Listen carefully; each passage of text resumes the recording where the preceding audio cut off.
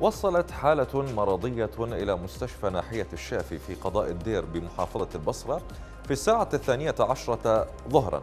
أي من المفترض أن يكون في وقت الدوام الرسمي. لكن ذوي المريض تفاجؤوا من خلو المستشفى من الأطباء والموظفين. فنشاهد.